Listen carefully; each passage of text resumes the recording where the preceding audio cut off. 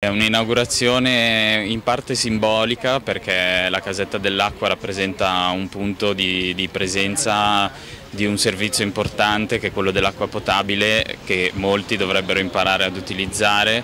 ovvero imparare a bere l'acqua del nostro acquedotto che è pulita e sicura. Scendere una grande quantità d'acqua ma anche a Nova questa volta è rimasta all'asciutto. quindi voglio dire insomma l'intervento che abbiamo fatto realizzando quella, quella vasca volano che è la più grande, la più grande della Brianza, 44.000 metri cubi, è servita perché in un contesto nel quale molti comuni si sono ancora allagati perché le fognature sono andate in sovrappressione, invece a Nova abbiamo avuto un periodo di asciutta diciamo, per, per chi eh, storicamente subiva danni.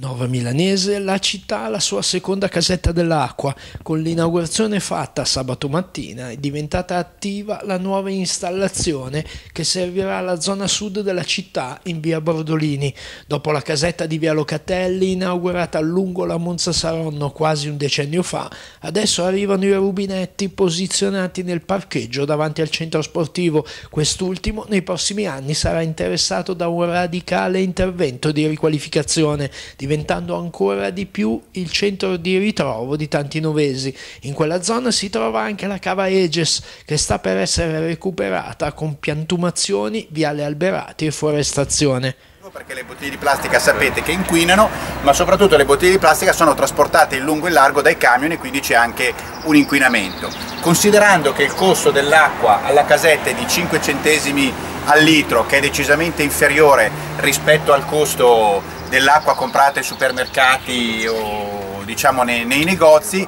abbiamo calcolato un risparmio medio per, per le famiglie che sono venute a prendere l'acqua di eh, Ratti c'è stata una nuova inaugurazione ma non si ferma qua l'azione eh, combinata tra il comune di Nova e Brianza Acque. Chiederemo a Brianza Acque di installare un erogatore in tutte le scuole, nella biblioteca e nella casa comunale. Brianza Acqua si è, si è resa disponibile a operare in questo senso, adesso comunicheremo la richiesta in modo ufficiale in modo che quanto prima si possa avere questa, questa nuova fonte di erogazione dell'acqua pubblica.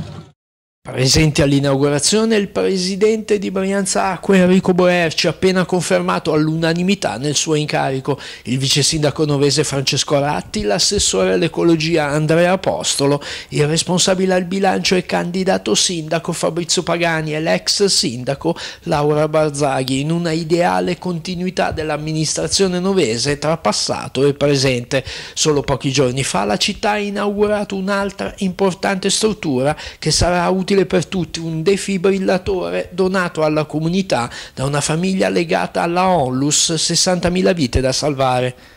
Eh, si può spiegare a cosa state pensando e cosa farete soprattutto nei prossimi 5 anni? Saranno importantissimi i prossimi 5 anni.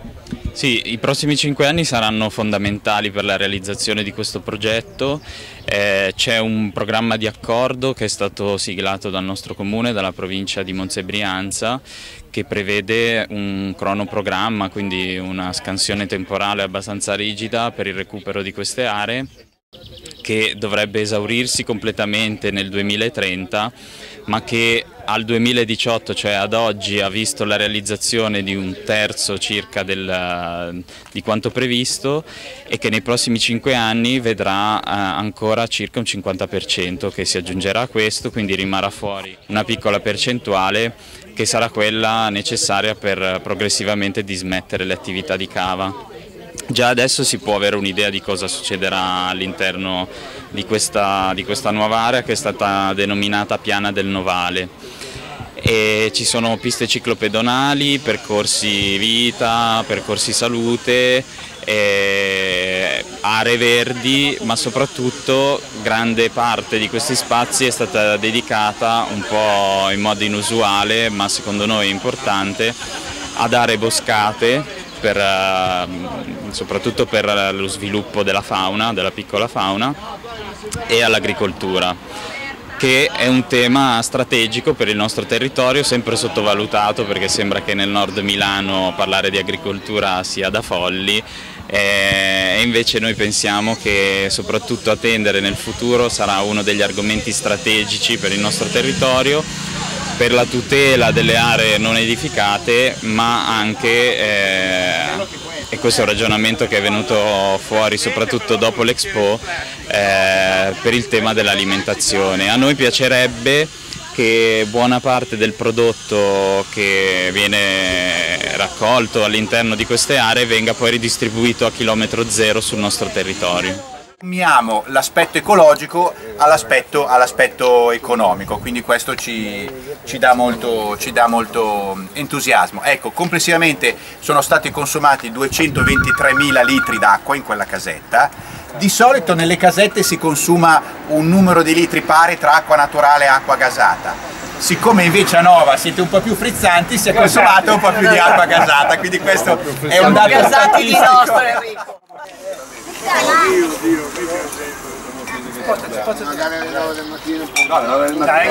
Ok, grazie. Presidente, questa inaugurazione arriva,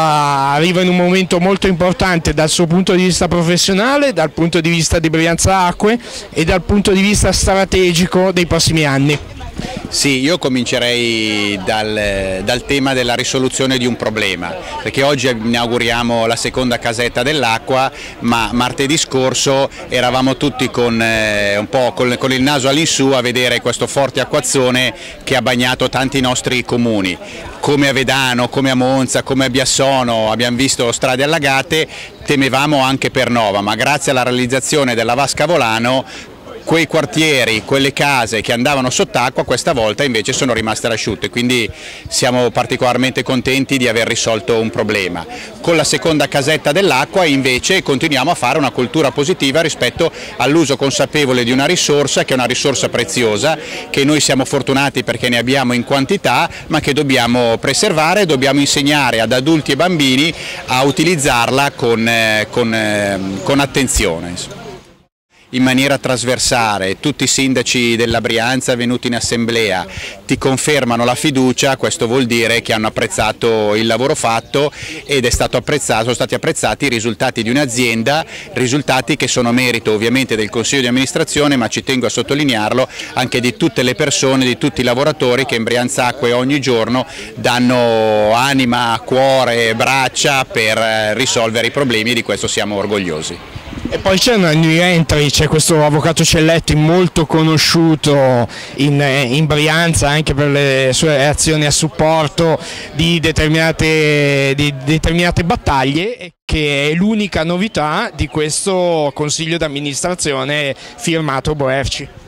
Sì, eh, l'abbiamo conosciuto il giorno, il giorno, dopo la nomina, eh, insomma dal punto di vista umano è una persona molto, molto simpatica, disponibile, dal punto di vista della, della, competenza, lo ha detto lei, è un avvocato quindi ci potrà dare una mano da questo punto di vista. E soprattutto è una, una persona che si è resa assolutamente disponibile, ci ha chiesto di coinvolgerlo, ci ha detto che studierà un pochettino per capire quello che è l'azienda, ha iniziato già a guardare i bilanci, abbiamo già fatto quattro chiacchiere rispetto all'attività e rispetto alle strategie per, per il futuro e mi sembra una persona che abbia una gran voglia di dare una mano e quindi questo è assolutamente positivo.